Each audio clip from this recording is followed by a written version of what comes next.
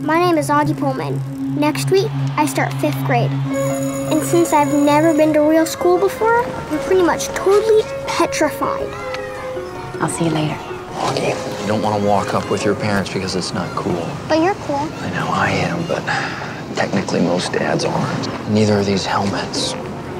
Dear God, please make them be nice to him. I know I'm not an ordinary 10 year old kid. I've had 27 surgeries.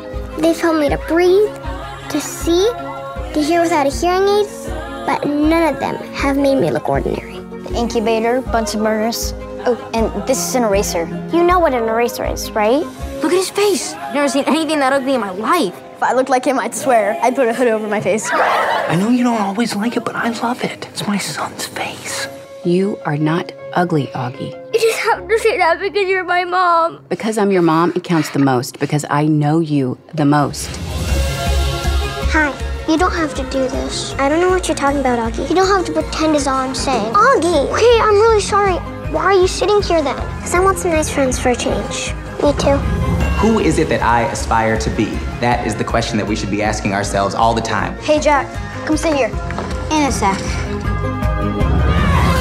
Like to be able to control the weather. That would be your superpower? That sounds pretty lame. What would you do? I'd be invisible. You're the toughest kid in that school. Show them. You can't blend in when you were born to stand out.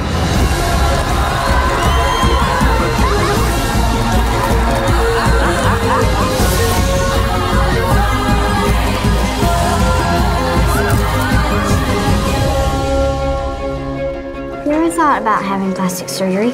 Dude, this is after plastic surgery. It takes a lot of work to look this good.